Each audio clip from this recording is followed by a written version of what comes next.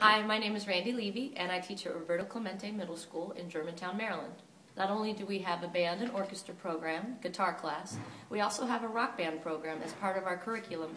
Rock band is a class where kids every day get to participate in a collaborative setting in a rock and roll band. I see the good walk by dressed in their summer clothes. They learn all about the history of music, history of popular music from the 1950s up till today, including composition. Because of what you're teaching them and because they love this, they come to school on a daily basis intrinsically motivated.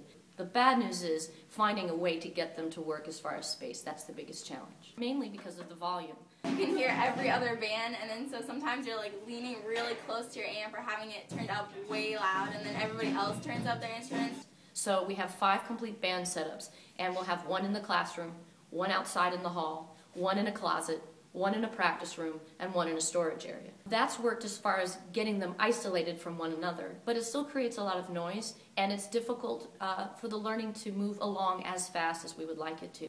We've been fortunate to have JamHub come into our lives, and that's completely transforming our program. And so this is like a huge difference, and we all can hear each other, and it's much better. practice. It sounded like it was coming off of like like if you were like recorded yourself in a studio and like playing it through your iPod. You walk into the classroom now, it's a silent classroom. Silent to the outside world, but to the kids, no distractions at all because they're on their headphones. You can hear what you did, and it's Yeah. really good. You know what you need to work on.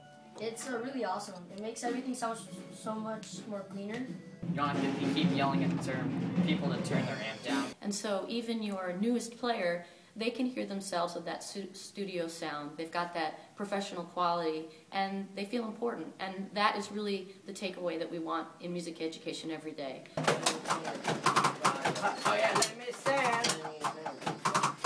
Oh, let me stand. I ain't gonna do no harm.